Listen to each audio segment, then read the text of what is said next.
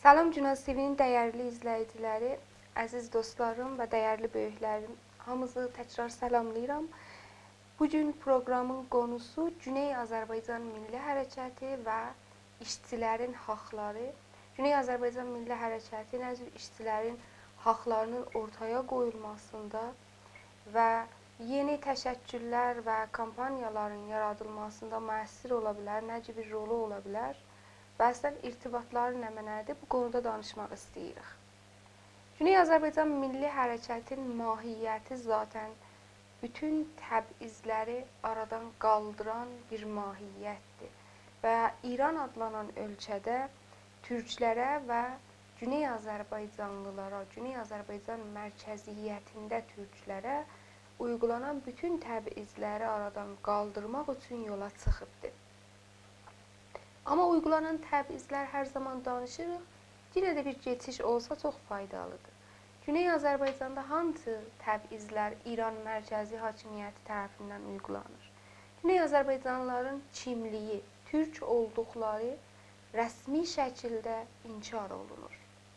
Siyasi idarə və müşarikətdə İran genəlində haqları öz kimlikləri əsasında və Azərbaycanın bərabərlik və mənafeyi üstündə yoxdur. Fərhəngi və mənəvi haqları geniş bir biçimdə və rəsmi olaraq tapdalanır. Ayrıca İranın kəlan siyasəti farsların və fars bölgələrin mənfəətlərinin üstünlüyü üstündə qurulan bir siyasətdir. Onun üçün bu sistemin kəlan siyasəti anti-Azərbaycanlığa da dayandığı üçün iqtisadi altyapılar da Güney Azərbaycan coğrafiyasında çürüdülür. Güney Azərbaycanın mahiyyəti, necəliyi, içəriyi və zatı təbizlərə qarşı təbizləri rəf eləmək, xalqı bu təbizlərdən agah eləmək, oyandırmaq və bu istəkləri, haqları nə cür ortaya qoymaq yöntəmlərinin hərəkətləri əslində bir mübarizə, mədəni bir mübarizədir. Əsası budur ki, bütün insanlar bir-biri ilə bərabərdirlər. Əgər bir coğrafiyada, bəlli bir siyasi coğrafiyada bəlli qruplar, bəlli xalqlar yaşayır, bu coğrafiyada, burada İran e, siyasi coğrafiyasında farsların o bir xalqlara heç bir üstünlüyü yoxdur və o bir xalqları da idarə eləmə haqqı da yoxdur. Və əslində bu istəklərin e, zəmini ilə tavanı, kəfi ilə e, səqfi çox fərqli ola bilər.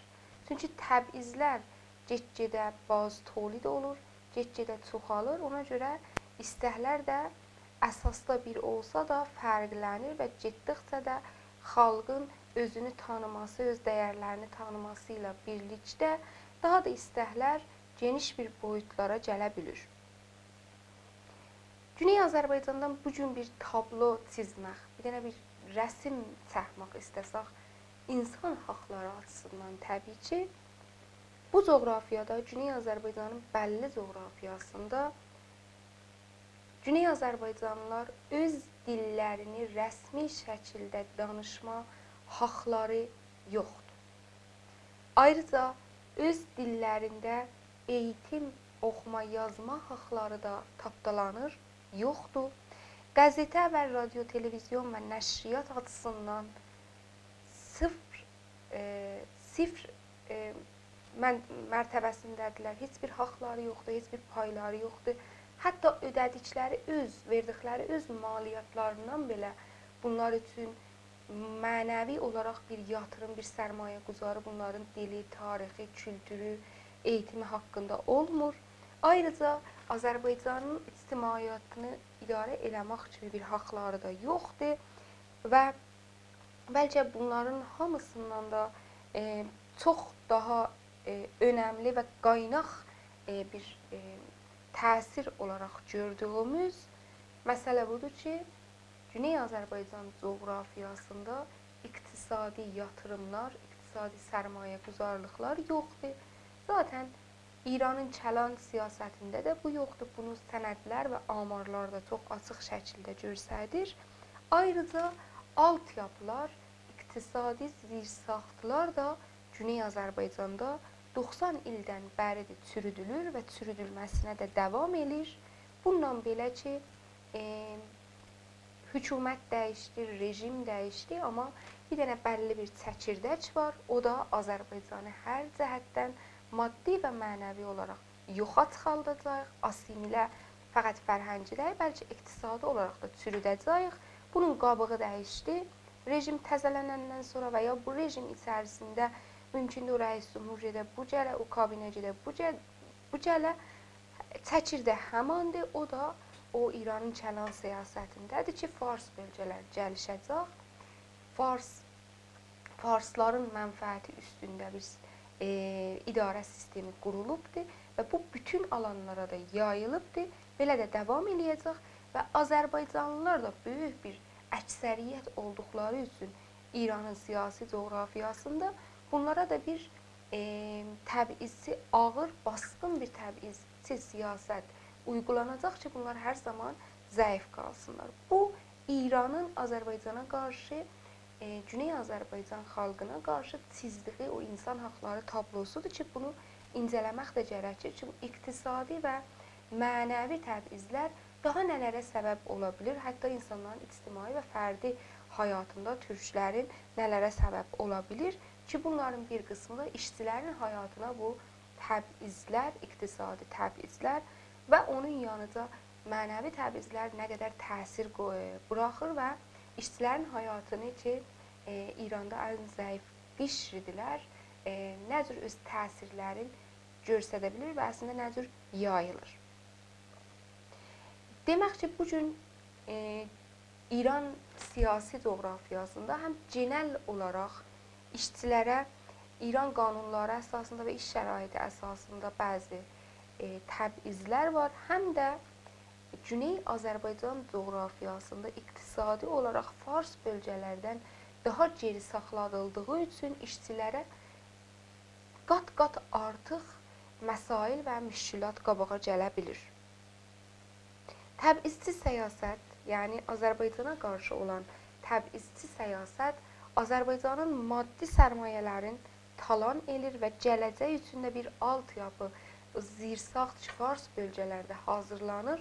Azərbaycanda çürüdülür. Hazırlanmır ki, heç get-gedə də çürüdülür. Ayrıca sərmayə və rifah hamısı Fars bölgələrdə, İranın mərkəzi bölgələrində mütəmərkiz olur və bir çox sərmayə də Azərbaycandan oraya e, həm köçür, həm də ki, bu sərmayə və rifahın Fars bölgələrdə mütəmərkiz olması böyük bir mühacirətə və iş gücünün də Azərbaycanı boşaltmasına səbəb olur. İşçilər və zəhmət çəkənlərin haqqı bir dünyalıq məsələdir əslində. Genəldə baxdığımızda bir dünyalıq məsələdir. Amma dünyalıq məsələ olsa da siyasi rantlara vəsilə olaraq kullanıla bilibdir və fərqli diktatorluqların qurulmasına da yer hazırlanmaq üçün kullanılıbdır tarix boyunda. Zəhmət çəkənlərin çalışdığının qarşısında payını ala bilməyən və zəhməti vasitələr tərəfindən, aracılar tərəfindən oğurlanan işçilərin haqlarından bəslənən e, və qurulan bəzi diktatorluqlar da indi dünyada vardı. Onlar ki, fəqət məsələyə sınıfsal, təbəqati olaraq yanaşırlar və o bir təbizləri yoxa sayırlar, insanın məruz qaldığı, haqları olduğu, amma alamadığı o bir təbizlərə o cür e, tə, müəssir şəkildə yanaşmırlar maalesef bu işçi haqlarından bəslənib, indi hətta işçilərə zülm olan bəzi sistemlər də bu əsasda qurulubdur. Dünyada da bunun örnəkləri vardır. Tək bir xalqın, yəni təhcə farsların bəlli mənfəətləri üstündə idarə olan bir siyasət, bir sistem səbəb olubdur ki, get-gedə bu bölgələr daha da zənginləşsinlər. Və İran adlanan ölkədə Güney Azərbaycanlıların Güney Azərbaycanlıların başlatdığı bu milli hərəkət əslində demokrasi qurma e, amacı ilə və türklərin öz insani ilkel haqları və ictimai haqlarını qazanmaq uğrunda başladılıbdır.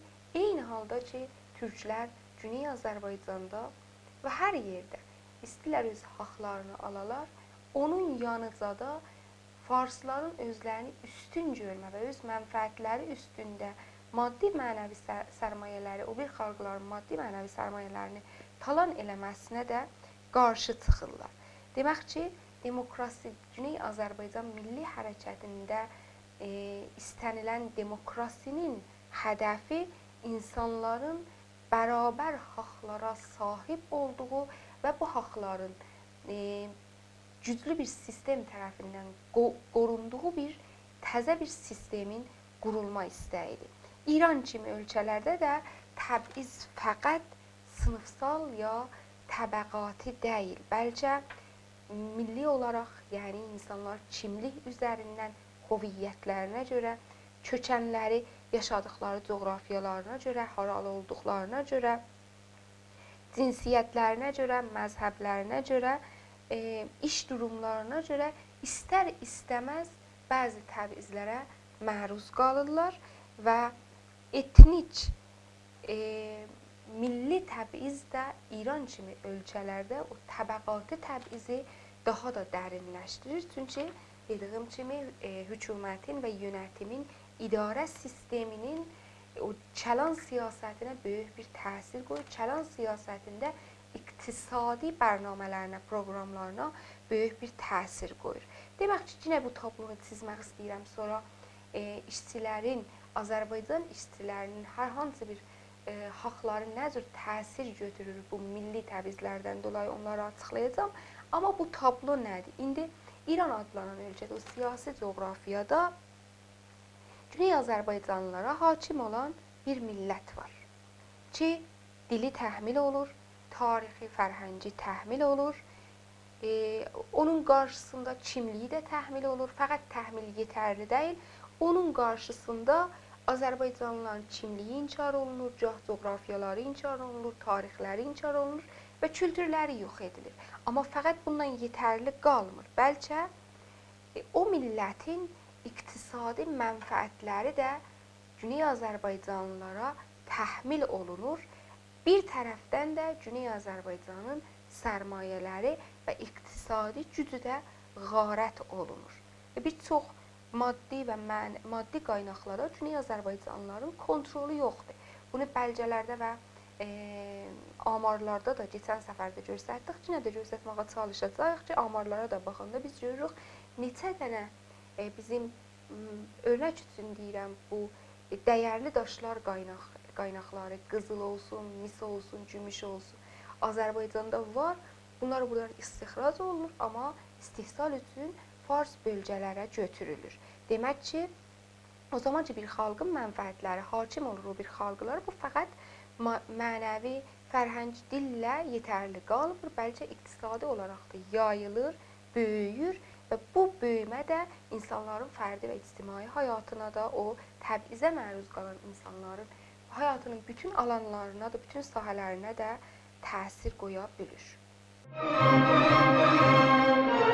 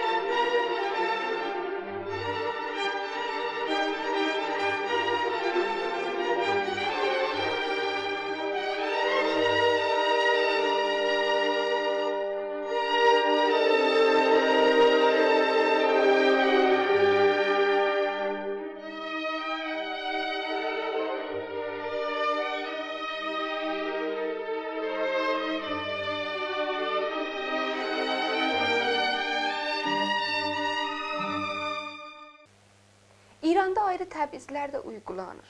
Məsələn, cinsi təbiz. Məsələn, əlillərin, özürlü olanların haqqları qorunmur. Uşaqların haqqları qorunmur.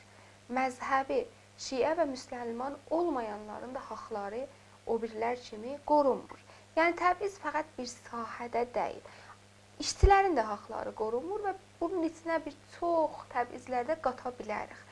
Bəli, milli hərəkat nə cür yanaşır bu təbizlərə və elə bir kapasitəyə, elə bir zərfiyyətə sahibdir ki, eləyə bilər bütün bunlara, bütün sahələrdə qarşı dura bilər və ya bütün sahələrdə bunların haqqında öz xalqına aydınlada e, ya yox. Bunun üstündən daha çox danışmaq istəyirik. Milli hərəkat öz hədəfində və öz qayəsində dediyim kimi demokrasi istəyir. Demokrasidə bütün təbizlərin hamısı dərindən yox edilə bilər və bu təbizlərin heç birinin də bir-birinə bir oləviyyəti yoxdur. Çünki xalqın bütün kəsimlərinin, bütün fərdlərinin, bütün qişlərinin taleyinə tə, e, təsir qoyan bütün bu təbizlər müəssirdir. Bunun üçün örnək vermək gərəkirsə, bir fərdi nəzərdə alaq. Məsələn, Güney Azərbaycanlı və bu fərd qadındır və bu fərd məsələn e, işçidir və ya e, işçi dediyimizdə fəqət e, ağır işlər görənləri demirik. Hər cürə maaş alan, dövlətdən maaş alan və ya bir xüsusi bölümdə alın təri ilə pul qazanıb maaş alan insana işçi deyilə bilir işçi tərifində. Biz görürük ki, bu əvvəl e, əlbəttə əvvəl ikinci demağım oləviyyət bəndi, öncəlik e, vermə nədənindən də bəlkə elə say, saymaq üçün deyirəm. Yəni bu ki mən deyirəm əvvəl dəlildir ki, bu oləviyyətin e, bu e, təbizin oləviyyəti var. Sırayla deyirəm. Bu Güney Azərbaycanlı fərd Güney Azərbaycanlı olduğu üçün bir sıra iqtisadi təbizlərə məruz qalır. Çünki rifah və iqtisad olaraq bir bölgədə yaşayır ki, təbiz e, təbisi bir siyasət tərəfindən idarə olunur. Sonra türkdür. Bunun dili, kimliyi inkar olunur və bütün bu mənəvi haqqlar, eğitim haqqı, universitet haqqı, bəzi kültürel haqqlar var e, nəşriyə sahibi olma, televizyon sahibi olma haqqı bunların hamısından məhrum buraxılır. Sonra qadındır. Zaten həm İran qanunlarında, həm də mühitdə o e, dabanda qadın olduğu üçün və qadın cinsi, cinsinin haqqları geniş bir biçimdə əzildiyi üçün orada da təbizlərə məruz qalır. Sonra ondan keçsək, ə, hələ bunun bir özrü olsa, məsələn, cismində bir e, doğuşdan bir mərizlik və ya sonra bir özür olsa mərizlik deməyək, o da səbəb olacaq ki, bir çox ictimai haqlardan məhrum qalacaq ki, məsələn, bədənində bir e, özürü vardı, bir əlilliyi vardı, o da səbəb olacaqdı. Onu keçsək, əgər bu işçi isə məsələn və ya bir xüsusi yerdə, bir e, dövləti yerdə bir maaşla çalışırsa, orada da bir çox haqları e, tapdalanır, haqları verilmir haqsızlığa məruz qalır, qurbanı olur bu sistem içində. Demək ki, bir insan doğulduğundan bəri e, bu təbizçi siyasət nəticəsində belə bir ölkələrdə ki, insanların haqqları haqqlarına bərabər yanaşılmır, bir çox e, mənfi imtiyazla, e, olumsuz puan, puanla dünyaya gəlir və məcburdur həyatı boyunca bunların vəbalını həmişə çəkər. E, Və biz amma milli hərəkət olaraq ki, təbizə qarşı olan mahiyyətində bir hərəkətdir və təbii ki, bunu Güney Azərbaycanda öz bölgəsində uygulama gücü vardı, öz insanlığı oyandırma gücü vardı və onun üçün yola çıxıbdı. Milli hərəkət olaraq bu təbizlərə nə cür yanaşıla bilər? Və bu nə qədər düzdür ki, biz gələk oləviyyət verək. Deyək ki, məsələn, sən bir qadınsan, qadın haqlarından danışmacılan, qadınları e, məsələsidir, sonra çözərik. Biz öncə bu məsələni çözək. Öncə bu etnik, milli haqqları çözək, sonra qadın məsələsinə də gələcəyik. Amma onda dəqiqən e, dəqiq də olmasa təqribən buna bənzəyir. O zaman ki, bəzi məsələn, e, yenə bunu deyirəm, məsələn və sözdə demokrasi istəyən e, fars mərkəzli hərəkətlər var İranda. Bəzi e, sözdə aydın farslar var İranda ki, o zaman ki, onlara deyilir ki, e, siz Bir bələn demokrasiyadan, insan haqlarından danışsınız, amma niyə türklərin haqqından danışmısınız? Niyə Azərbaycanlıların ana dil eğitimi haqqından ki, dünyada tanınıbdır, bunlardan danışmısınız? Onlar məsələn genəldə bu cavabı verirlər. Öncə demokrasi qurulsun, sonra o haqlar da verilir. Amma hansı qaranti ilə? O zaman ki, sən hələ bu sürət içərisində ki, hələ güc əlində yoxdur, qəbul eləmisən ki, türklərin bu e, siyasi coğrafiyada öz dillərində eğitim haqqı var. Azərbaycanlıların öz bölgələrində yatırım sərmayəgüzarı büdcədə farslarla bərabər haqqları e, vardı. Nə qədər farsların bölgəsində olur, onların da öz bölgələrində haqqları var. O zaman ki, sən bu sürət ki, istəyirsən, deyirsən, mən deyirsən demokrasiya addım atıram, orada bunları mətrəh eləməkdən qorxsan, sabah hardan bəlli ki, sən qüdrətə yetirəndə qəbul eləyəsən ki, türklərin, Azərbaycanlıların və ya hər hansı bir ayrı bir millətin öz coğrafiyasında belə bir haqları vardı. Demək ki, milli hərəkəti də mən bir uzaqdan baxan olub e, incələsəm, deyərəm o zaman ki, milli hərəkətdə mən eləyə bilmirəm, e, oləviyyət bəndi vardı məsələlərdə və eləyə bilmirəm. Məsələn, əgər işləyəm, öz haqlarımı mətrəh eləyim, e, əgər e, qadınam öz haqlarımı mətrəh eləyim, hansı bir qaranti vardı ki, sabahları ə, lap Azərbaycan xalqının mənfəətləri üstündə qurulan bir sistem olsa, mən bu haqlarıma əl çatım. Demək ki, milli hərəkət də əgər demokrasi istəyən bir hərəkətdir, müsalimət amiz, mədəni və insan haqlarına sayğı ilə davranan, sayğı ilə hərəkət edən bir hərəkətdir. Bəlli bir prinsipləri olmalıdır və bu xalqın bütün müşküllərinə oləviyyətsizlik yanaşmalıdır. Bir tərəfdən də bunu unutmayaq ki, bizim bir çox müşküllərimiz Cüneyi Azərbaycan coğrafiyasında milli təbizlərdən qaynaqlanır. Əgər məsələn işçilərimizin bir çox müşkülü vardır, biri o qələt sistem ki, İranda var, diktator və e, o ideolojik sistemdən qaynaqlanır. Ayrısı da qanunlardan qaynaqlanır, amma bunun böyük bir payı da dediyim kimi iqtisadi altyapıların çürüdülməsindən, işsizlikdən, az büdcədən, dövlətin, mərkəzi dövlətin Azərbaycan bölgəsinə yetişməməsindən qaynaqlanır. Ona görə bunlar bir-birini tamamlayıcı məsələlərdir. İşçinin məsələsi, Azərbaycanın işçisinin məsələsi, Azərbaycanın qadınının məsələsi, uşaqlarının məsələsi, bunların bir çoxunun qaynağı elə bu milli təbizdir və e, həm milli təbizləri mətrəh eləyəndə bunları mətrəh eləmədən o ə, ə, az qalar, naqis qalar, həm də Sırf biz məsələn e, Azərbaycan məsailində, qadın məsailərindən ya işçi məsailindən danışanda heç bir zaman eləyə bilmərik deyək ki, Azərbaycandakı işçi ilə Tehrandakı işçi tamamilə şəraiti birdir. Yox, bunlara hakim olan fərqli bir idarə sistemi vardı ki, Azərbaycanda bunu neçəmiz dəfə təkrar edirəm, iqtisadi altyapı çürdüyü üçün daha da çox işçi e, fişar altındadır və işsizlik və iş şərtləri daha da işsizlik daha çoxdur, iş şərtləri də e, daha çətindir. Demək ki, biz öz öz e, durumumuzdan istəsək bir dənə e, fərz eləyək Cüneyi Azərbaycanda yaşayan bir insan istəyə öz öz durumun tərifliyə görəcək ki, oturduğu yerdə öz durumuna görə, cinsiyyətinə görə, məzhəbinə görə, dilinə görə, iş e, qonumuna görə, e, bütün bunlara hər birinə görə bir sıra təbizlər görəcəkdir ki, uyğulanır və milli hərəkət də bütün bu təbizləri rəf eləmə qabiliyyəti vardı. Yəni milli haqqları mətrəh eləyəndə bunların hamısının içində işçilərin haqqların, iş haqqlarını, cinsi haqqları, uşaqların haqqların və dediyim kimi bir çox təbizlərə məruz qalan kəsimlərin, insanların, qrupların da haqqların mətrəh eləyə bilər. Çünki öz mahiyyətində zatında təbizlərə qarşı və bir xalqın kəramətini qorumaq üçün yola çıxan bir hərəkətdir.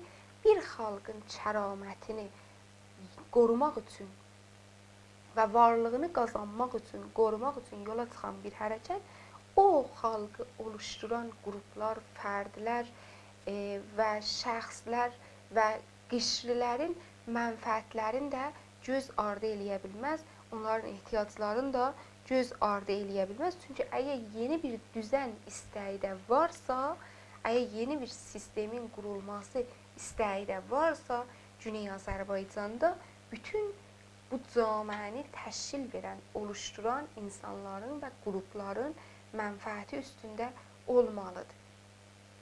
Demək ki, milli hərəkat o potansiyelə, o zərfiyyətə sahibdir ki, bütün bütün bu gücləri birləşdirsin e, və fərqli nöqtələrdən yanaşaraq əvəziyyətsiz hamısını da mətrəh eləsin, bütün təbizləri də mətrəh eləsin.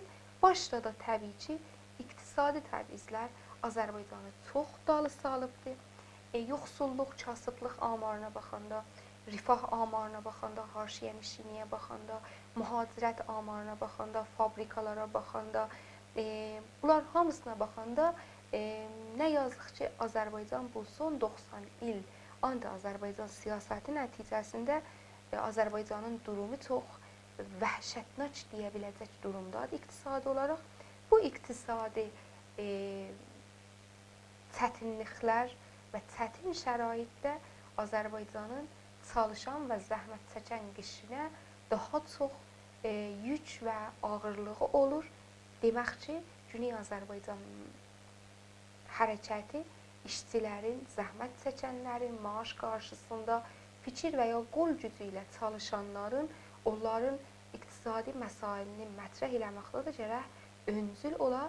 Çünki onlara da ehtiyac var. Onların da ən doğma onlara sahib çıxan e, demokrasi və ədalət istəyən, insan haqlarının bərabərliyin istəyən öz hərəkətlərinə təbii ki, çox e, ehtiyacları var. Mənim düşüncəm, şəxsi düşüncəmi söyləmiş olsam, bunlar hamısı bir-birini tamamlayıcıdır və heç birinin də bir-birinə əvəziyyəti yoxdur. Hamısı da eyni dərəcədə bu xalq üçün mətrəh olunmalıdır. Biz hətta ya dünyalıq bir məsələni də düşünsək, dünyanın hər yerində ki, Güney Azərbaycan Milli Hərəkəti Güney Azərbaycandan sorumludur, mərkəziyyətidir. Əgər türklərin e, haqları üstündə də olsa mərkəziyyəti Güney Azərbaycandır, təbiidir ki, bütün kəsimlərin də haqlarını mətrəh eləmə qabiliyyəti olmalıdır və hamısına da açıq olmalıdır.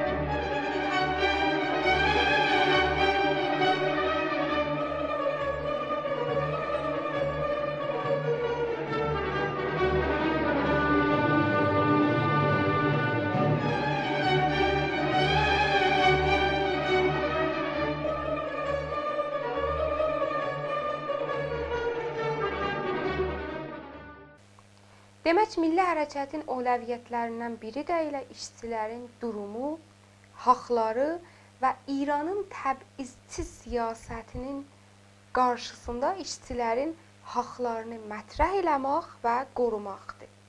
Və işçilər İranın bu təbizçi siyasəti işçilərin vəziyyətinə hansı təsirləri qoyur, bunu tanıdıb və tanıtdırmaqdır.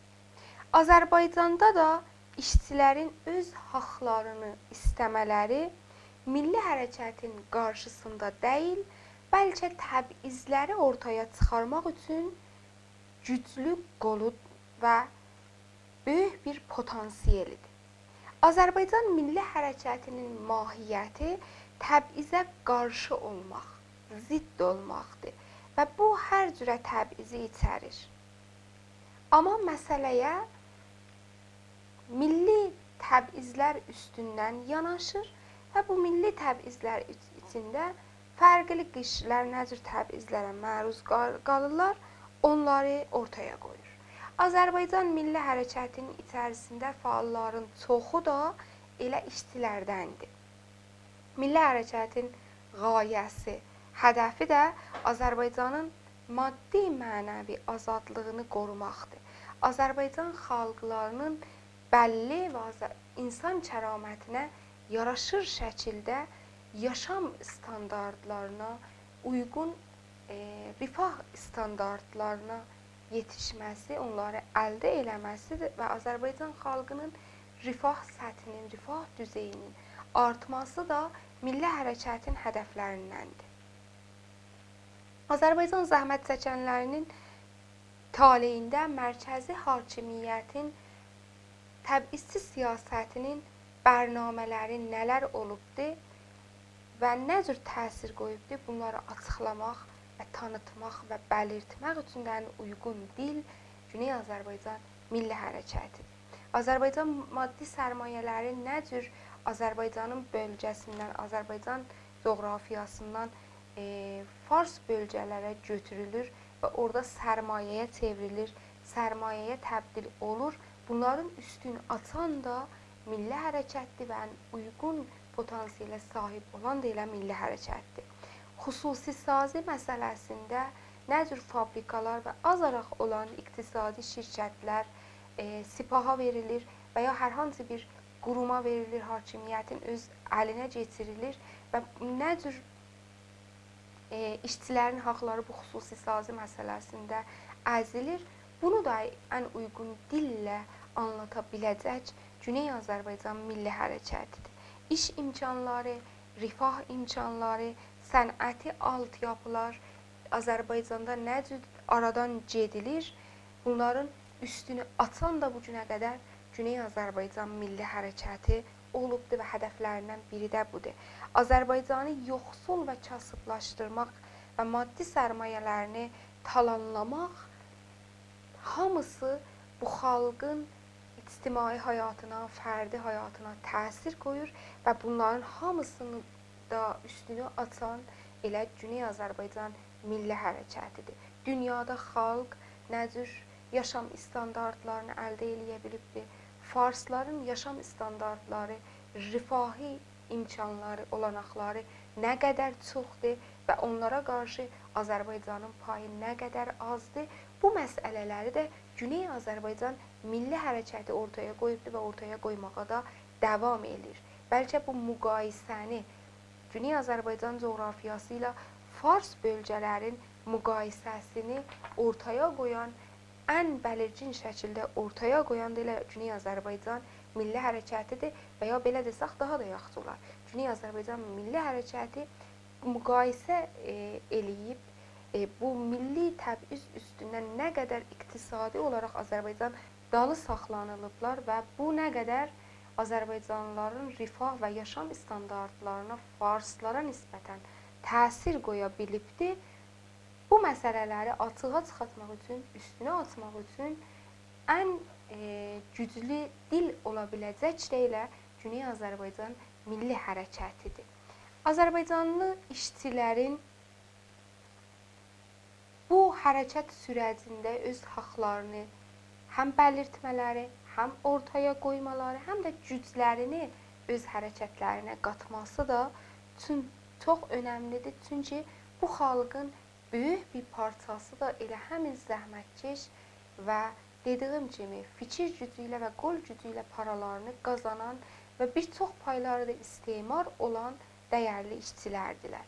Azərbaycan coğrafiyasında Azərbaycan milli hərəkətinin amacı öz xalqının dünya xalqları ilə bərabər kəramətini qorumaq, yaşam standartlarını yüksəldəcək, yuxarı çəkə biləcək bir yönətimə sahib ol olmaq və insan haqları day haqlarına dayalı bir yeni bir düzən qurmaqdır ki, bunun üçün də Təbii ki, təbizçi sistemə qarşı savaşmaq bu hərəkətin də bir parçasıdır.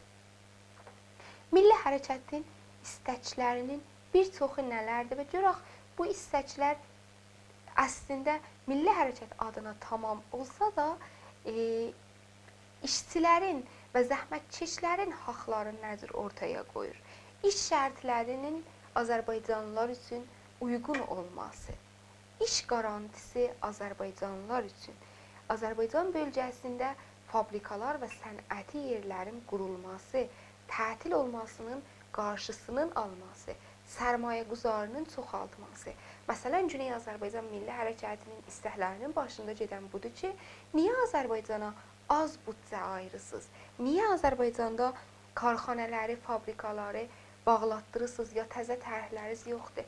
Niyə bütün qurulan e, fabrikalar, sənəti yerlər, iş fürsətləri hamısı İsfahanda, Simnanda, Qumdadır. Qurulanlar içərisində deyirəm. Amma Azərbaycanda bir şey qurulmur.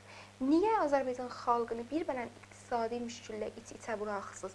Bunlar hamısı əslində Cüneyd Azərbaycan Milli Hərəkətinin ortaya qoyduğu e, istəklər və ortaya qoyduğu gerçəklər, vaqiiyyətlərdir. Və hamısı da bir cürə Azərbaycanın zəhmət çəkənlərinin, zəif insanlarının, e, genəldə Azərbaycan get-gedə kasıblaşıbdır. Azərbaycanın çalışanlarının istəkləri və haqqlarıdır ki, Azərbaycan milli hərəkəti ortaya qoyur. Təbii ki, Azərbaycan milli hərəkəti bütün dünyada bütün xalqların, bütün insanların e, normal bir yaşam yaşamalarını, öz haqlarını əldə etməklərinə qarşı deyil. Amma savaşı nəyin üstündədir? Heç kəs bu İran e, siyasi coğrafiyasında ki, Azərbaycanın da siyasi idarəsini ələ keçiribdi və bu siyasi idarə yolu ilə iqtisadi qaynaqlarında idarə eləyir, heç bir xalq özünü üstün görməsin.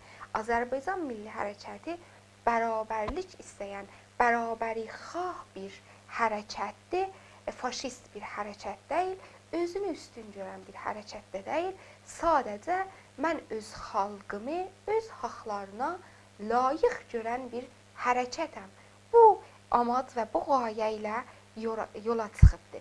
Amma milli hərəkət nələri ortaya qoya bilibdi? Məsələn, Azərbaycan yerli xalq, e, xalqının haqları olan, haqqı olan mədənlərin və su qaynaqlarının qazancının və elə mənabeyinin Fars bölgələrə daşınmasına Azərbaycan milli hərəkəti qarşıdır. Xüsusi sazı adı ilə yerləri və işçilərin hamısının e, əməyinin istismar olmasına da Azərbaycan milli hərəkətində öz mahiyyətinə, mahiyyətində qarşıdır. Ayrıca sərmayəgüzarların niyə hamısı Fars bölgəsindədir? Bu sualı soruşur mərkəzi hakimiyyətdən. Niyə İsfahanla e, Təbriz 100 il qabaq Təbriz İsfahandan çox daha qabaqdaydı, amma bu gün e, o ölkə amarlarında, rütbəbəndilərdə Təbriz sənəti olaraq axirlərdə yerləşir. Amma İsfahan get-gedə gəlişir. Bu sualı verir dövlətə və dövlətə deyir ki, əgər sən istəyirsən e, İran Birliyi adı altında və ya hər hansı ad altında istəyirsən Azərbaycanın mə maddi, mənəvi hər şeyini talan eləyəsən, yoxa çıxardasan və mənim xalqımı e, fəlakətə sürükləyəsən, mən bu fəlakətin qarşısını alacağam. Çünki mənim xalqımda o etimad binəfs vardı ki, həm öz mənəvi haqlarını qoruya, həm də öz maddi haqlarına sahib çıxa.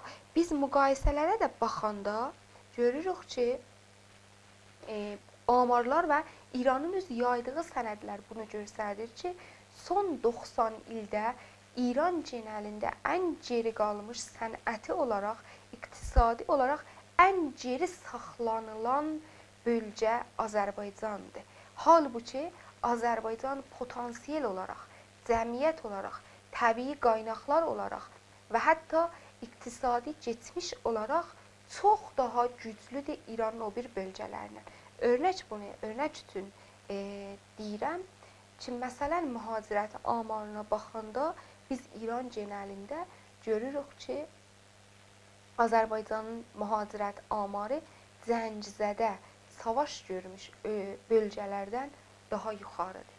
Və çox cəlib, ilgincdir ki, Azərbaycan mühacirət sahəsində birincilərdəndir. Azərbaycan ustanları İranın genəlində və ən ilginc tərəfi də budur ki, hər zaman mühacirət yoxsul, e, havası münasib olmayan və yoxsul bölgələrdən olar e, Azərbaycan həm maddi qaynaqlar olaraq çox zəngindir, həm e, çox e, əmniyyətli bir bəlli bir bölgəsi, çox əmniyyətli bir e, bölgədir. Yəni xalq arası çox əmniyyətli bir bölgədir, həm də ki, çox zəngin və potansiyelli bir bölgədir. Bu əslən məntiqi deyil ki, biz məsələn Simnanla Təbrizi və ya Simnanla Ərdəbili e, havası olaraq, təbiəti olaraq, iş gücü olaraq, potansiyelləri olaraq biz müqayisə eləsək görürük ki, Ərdəbildə, Təbrizdə, Batı Azərbaycanda, Zəncanda maddi qaynaqlar neçə qat sən, zən, e, Simnandan daha çoxdur. İş gücü neçə qat çoxdur. əkinçiliyə neçə qat daha çox müsaitdir. Amma mühacirət amarına baxanda görürük hamı buralardan köçür və məsələn gedir İsfahana, Simnana, Quma yerləşir.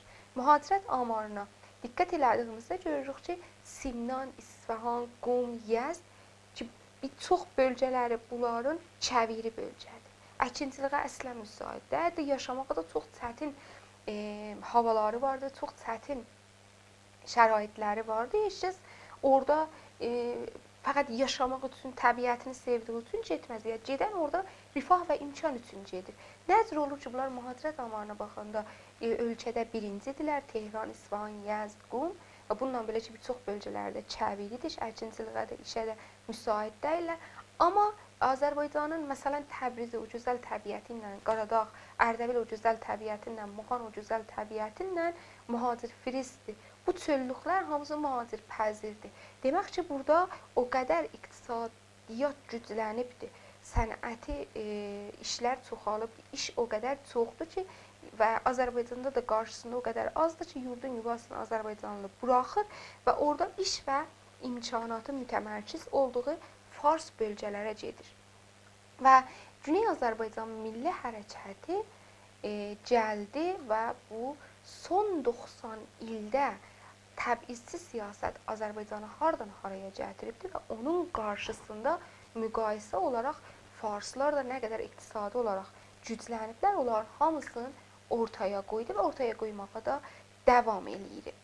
Amma işçilərin genel məsələlər, İranın genelində nə mənələr ola bilər? İşte genəldə nəyə deyilir? Yəni dünya e, qavram təriflərində işçi nəyə deyilir? Hər kim ki bəlirli bir gəlirin, bəlirli bir hüquq və maaşın qarşısında qol gücü və fikir gücü ilə para qazanır, ya hər kəs ki alın təri ilə və fikir gücü ilə bəlli bir gəliri bir yerdən alır, xüsusi ya dövlətdən, bu işçidir.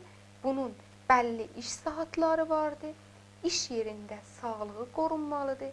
İşsiz qalma ehtimalinə qarşı ona iş verən bunu zəmanətə, qarantiyə almalıdır və bir e, iş yerində də həm rəvani, həm cismi əmniyyəti işverən tərəfindən qorunmalıdır. Amma görə həm İran genəlində, həm Azərbaycanda işçilərimizin şəraiti nələrdir?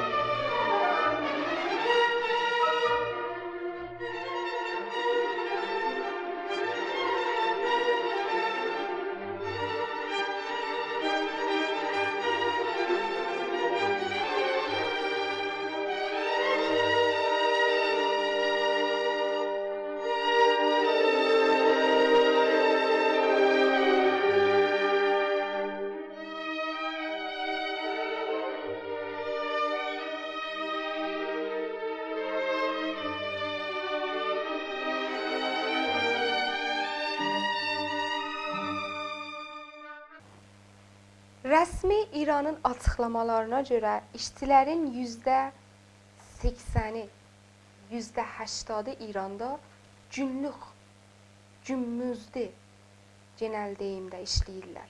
Bu nəyə göstərir? Demək ki, rəsmi istihdam yavaş-yavaş həm qurtulubdur, çox-çox azalıbdır. Bəlli e, müəssisələr, bəlli idarələrin xaricində sipah kimi, bilməm, ayrı müəssisələrin xaricində demək ki, rəsmi istihdam toplanıbdır və o birisilər də müvəqqətidir, qeyri-rəsmi istihdamdır. Əgər dövlət eləyir bu istihdamı, əgər bu da olmasa, e, iş verənlərə tapşırılıbdır ki, bir çox e, iş verənə də nəzarət olmadığı üçün ya bəlli büdcə verilmədiyi üçün e, müstəqim ya qeyri-müstəqim bu işçilərin maaşına biməsinə və durumuna da öz təsirini qoyur. Çünki hər kəs ki iş verir, e, o zaman ki dövlət xüsusi bölmə, xüsusi bəxşə tapşırır. İşi gərək nəzarət eləyə və hər kəs ki, iş verir işçiyə, karməndə, o hüquq alana bə bəzi təəhhüdlərə əməl eləməlidir. Amma görürük ki, işçilər genəldə İranda bu təəhhüdlər onların qarşısında olan təəhhüdlər e, iş, iş verənlər tərəfindən əməl olunmur və çox sıxıntı çəkirlər. Məsələn, təzminat almırlar, aylarca bunların hüquqları verilmir, bimələri tökülmür, hüquqları vermir, e, verilmir. E, ayrıca bu müvəqqəti istihdamda üçün iş qarantisi yoxdur. Məsələn, alır işə, amma keyfi çəkəndə də bunu işindən eləyir, işindən qovur və bir dənə təzminat da verməyib. Məmulən o işçi hüquqlarının qorunduğu ölkələrdə də belədir ki, əgər e, bir qərardat bağlanar, bu tərəf işdən işin yaxşı görməyəndə və ya hər hansı bir nədənlə e, bəhanə göstərəndə iş verən bunu ki, işdən e, ayırdı, e, müvəzzəfdir ki, onun ya ayrı bir qurum var, ya müvəzzəfdir ayrı iş təmin edir, çünki bu bir ailəyə baxır, bu iqtisadiyyatı o evinin çərxi ondan dolanır, ya da ki, o işsizlik dönəmində bikari, işsizlik biməsi verə. Çünki bunların heç biri İranda bir düzənləmə yoxdur, qanunda da olsa, az azaraq olsa, bunlar heç biri uygulanmır. Şuğli əmniyyət yoxdur, yəni. Tərəf ki, işə girir, heç bir təəhhüd iş verən vermir, sərmayə də iş verənin əlindədir. İstədiyi, istədiyi zaman bunu qova bilir, e, ayıra bilir, ata bilir işindən e, və e, nə bir cərimə, nə bir e, bunun qabağında e, deyirəm dünyanın bir çox gəlişmiş ölkəsi kimi bir təzminat, bir cərimə, bir e, qaranti də ödəmir. E, pərdaxt eləməyə əslində belə deyək, vəzifəli eləməyibdir dövlət və dövlətin də ciddi bir nəzarəti yoxdur. Demək ki, e, işçi məcburdur, məsələn, iş verənliyi 13 saat çalış, 12 saat çalışacaq. Ən az para ilə ən çox iş, ən çətin işlərdə biz görürük ki, işçilər məcbur olurlar görə, e, görələr İranda. Bir tərəfdən də İranın bu həstəyi sevdaları ki, dünyanı qatıb qarışdırıb, e, həm iqtisadi olaraq İranı çürütdü. İranı çürütdü, amma sərmayədarlara, o kəlam pulları olanlara çox bir təsir qoy qoymadı ki, biraz onların qazancını çoxaltdı. Amma bu o mütəvəssit və kasıb e, kəsiminə, işçi kəsiminə, karmənd kəsiminə bir tərəfdən bahalıq çoxaldı, tə, e, çox təsir qoydu, təvərrüm çoxaldı, bir tərəfdən də hüquqlar çoxaldı ciddi şəkildə, e, nə də bunların gəlirləri çoxaldı, nə də haqları təmin oldu. Ona görə bu həstəyi sevdaları insanların da həyatını qatdı, qarışdırdı. Bu arada da iş qarantiləri olmayan, günlük işləyən, dövlətin işlərinə nəzarəti olmayan, bu haqqın aldımı, almadımı, haqqı nə cür olur, işverən haqqını bunu nə şəraitdə çalışdırır, e, o sağlığına bu iş nə qədər təsir qoyur, bunun başına bir, bir şey gəlsə ailəsini kim təmin edəcək? Bunların heç birinə İranda nəzarət yoxdur və bunlar da genəldə işçilərin e, hamısını müşkülüdür. Bir tərəfdən bir tərəfdən də bu e, həstəyi məsələsi gəlincə, nizami büdcəsini İran çoxaldınca, iqtisadi büdcədən kəsdi, işçilərin boğazından kəsdi və get-gedə də bu iqtisadi böhran böyük sərmayədarların deyil, bəlkə mütəvəssit və mütəvəssitdən aşağı qişrin və işçilərin də e, həyatını e, çox darmadağın elədi və fəqət işçilər deyil, bəlkə işçilərin onların qabağında məsuliyyətləri olduğu ailələri də vardı. O ailələrinə gəlir aparmalıdılar, uşaqları təhsil alır, e, sağlıqlarının, e, bilməm yeməklərinin, yeyəcəklərinin hamısı bunlar qarşılıq və heç biri də təmin olmadı. Biz Rohaninin bu ilki büdcəsində də gördük ki, e, ağır bu həstəyi məsələlərinə görə ki, büdcə azlığı da vardı. E, bu dəfə Azərbaycanın büdcəsi %40 düşdü. Halbuki nizami büdcəyə yenə çox bir büdcə yatırdılar və heç də dəyişmədilər. Keçən nizami büdcələr çox-çox idi. Yenə də nizami büdcəsini İran çoxaltdı, amma Azərbaycanda, Azərbaycan bölgəsində e, büdcəni %40 düşdü. Məsələn, 100 tümən hər ilə ayırsaydı da bu il e, 40-ın da düşdü, oldu 60 tümən. Bu nə deməkdir? Keçəndən başlamış yarım yamalaq e, o projelər, sənəti projələrin hamısı yarım qalacaq, heç biri düzəlməyəcək. Bu bir tərəfə keç, təzə bir proje də Azərbaycanda başlatılmayacaq. Demək ki, həm projelər yarım qalacaq, yarım qalan projelərə yetərli büdcə yoxdur. təzə proje də başlatılmayacaq. Bu da nə mənə səbəb olacaq? Yeni bir e, beqolu bunlar modevikari və bizim öz gözəl dilimizlə işsizlik dalğası Azərbaycanda başlanacaq. Bu da ictimai fərdi həyatlarda çox təsirlər qoyacaq. Da o sıxıntıları o bir fürsətlərdə danışarıq. Dediyim kimi ümrani büdcələrdə və iqtisadi büdcələrdə və genəldə Azərbaycan e, ustanlarının və şəhərlərinin büdcələri %40 bu il azaldı. Əhvazın da, Əl-Əhvazın da, yəni ərəblərin də büdcəsi azaldı. Ona qarşı e, Əhvaz bölgəsinin 18 dənə nümayəndələrindən istefa istəyi sundular, amma bizim nümayəndələrimizdən çox ciddi bir reaksiya, bir əks eləməli olmadı ki, çoxu da razı idilər. Millətə nə olursa olsun, onlar razıdırlar. Ayrıca bəlli şirkətlər vardı.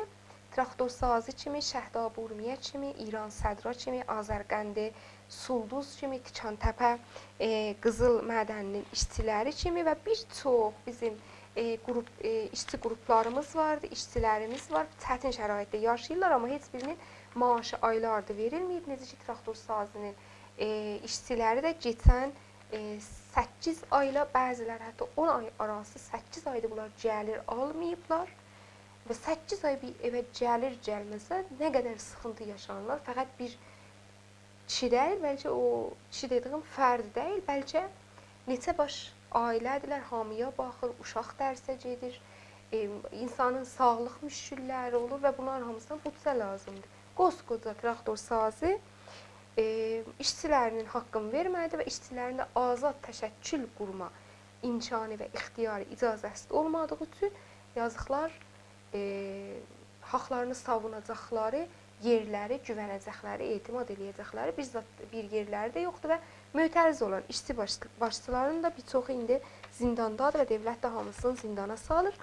Fəqət e, bu deyil, işçilərin çətin iş şəraiti, uzun e, iş saatları, çətin iş şəraiti, işlərinin təzmin olması, olmaması, hətta əqəl e, maaşından, hətta əqəl hüququndan hətta əksər işi bəzi kar fərmalar işli e, istəyir. Ayrıca Ərdəbil, Zəncan, Azərbaycan Şərqi, Azərbaycan e, Qərbi e, rəsmi ustanları İranda e, işsizlikdə birinci sıralardadılar e, və bu da böyük bir sıxıntılar yaradır Azərbaycan bölgəsində və təzə tərhlərdə dövlətin yoxdur bu işsizliyi cidərmək və rəf eləmək üçün. Misal üçün deyirəm, e, bir çox mədənlər ki, bizim Azərbaycanımızda vardı. Özəlliklə məsələn Tikabın e, Ağdərə mədəni, oranın qızılları oradan istehsal olunur, alınır, amma fabrikaları harda qurulubdur? E, İsfahandadır. Bu dediyimin fabrikası İsfahandadır. Məsələn süngülün misinin fabrikası hardadır? Yəzdə və Simnandadır. Ya məsələn Mərəndin qarşı toprağı ki alınır, fabrikası hardadır? İsfahandadır. Bilməm o bir mədənimizin fabrikası hardadır? Tehrandadır bütün daşlar, o məvaddə əvvəliyyə deyimiz xam maddələr Azərbaycandan istehsal olunur, götürülür. Burada istixrac üçün fabrikalar qurulsa, karxanalar qurulsa, həm işçilərimizə iş olar, həm də bu sərmayə hara yatırırlar? Azərbaycana yatırırlar. Bu çərx dolanar, iş yaranar, işçi avara olmaz, törəhsiz qalmaz, qurumlar yaranar və e, bu iqtisad da dolanar. Amma o zaman ki bütün bu mədənlər, su qaynaqları hamısı daşınır Fars bölgələrə.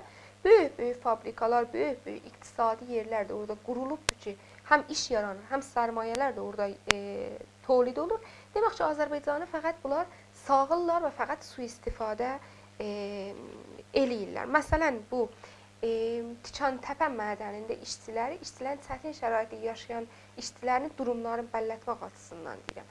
Hələ bu bəs deyil ki, Tiçantəpə mədəninin qızıl daşları daşınılır İsfahana, bir bələn xəzinə olunur, daşınılır İsfahana ki, İsfahanda istixrac olur. Halbuki bu istehsal karxanaları və fabrikaları Urmuda, Təbrizdə, Ərdəbildə, Sayınqalada, Sulduzda, Tiçantəpədə və Azərbaycanın öz bölgəsində qurulsa, həm o daşıma xəzinəsi bu xalqın cibindən çıxmaz, həm də orada iş yaranar və bu sərmayələr də elə Azərbaycanın özündə yaradılar və Azərbaycanın işçisi də, zəhmətkeşi də çətin şəraitə düşməz.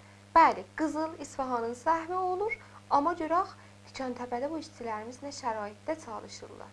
Oradakı işçilər Beyci bəy Tikantepe'nin nümayəndəsinin öz dediyinə görə sağlam mask və sağlam paltarları olmadığı üçün və orada iş, oradakı işçilər də siyanarla çalışmaq məcburiyyətində olduqları üçün o qızıl çıxartmağa, siyanordan istifadə eləməyə məcburdular.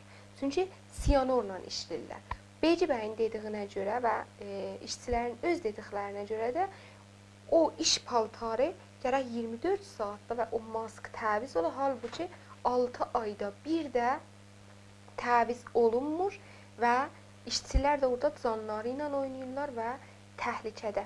Elə dediyim kimi Beyci bəy özləri nümayəndədirlər, öz dediklərinə görə ölümcül, mərcavər şəraitdə yaşayırlar. Demək ki, bütün bu iqtisadi təbizlər işçilərin, zəhmət çəkənlərin və Azərbaycanın mütəvəssit və mütəvəssit xalqı ki, %90-ı belədir və Azərbaycanda da yaşayır, hətta %95-i belədir. Hamısının həyatına təsir qoyur və demək ki, milli hərəkət eləyə bilər bu xalqın bütün haqqlarını ortaya qoya, məruz qaldığı bütün təbizləri ortaya qoya və ən güvənilir dili də elə milli hərəkətdir. Demək ki, həmvətənlik adı altında talanır Azərbaycan. Sənin dilin qorunsun, mənim dilim önəmli deyil. Sən özünə tarix, iftixar elədiyin kuroşlar, Ferdowsilər yarat, mən Babəkimi, Füzulimi, Dədə Qurqudumu danım.